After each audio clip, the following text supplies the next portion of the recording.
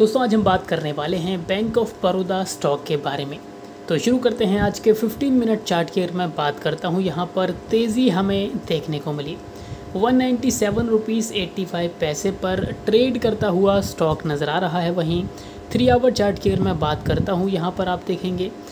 लगभग same range में ही trade करता हुआ स्टॉक नज़र आ रहा है। आप चाहें तो नीचे की तरफ़ वन नाइन्टी रुपीज़ का एक सपोर्ट लगाकर चल सकते हैं।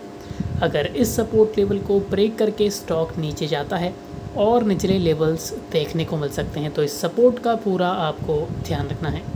बात करें टारगेट्स की, यहाँ से तेज़ी बनती है, एक बाउंस बैक हमें देखने को मिलता है।